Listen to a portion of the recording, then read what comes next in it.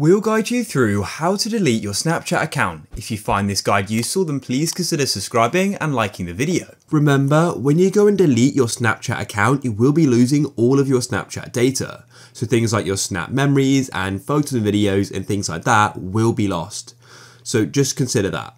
Now what we need to do is go and open up our profile page. You can do that from the chats page or the camera page and the story page as well. And go and click on your Bitmoji or profile in the top left. Now what you need to do is go to the top right of this page and go and press on the gear or cog icon.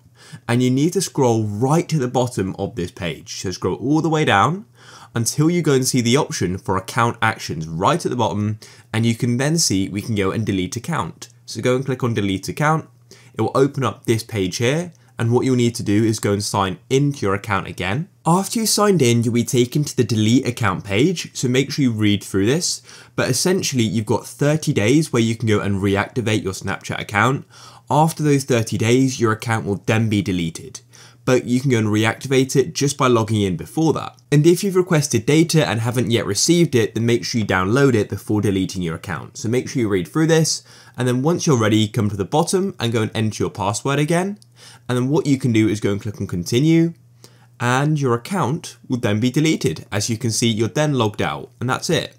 And then I could go and click on remove account, and it will then be removed from the app.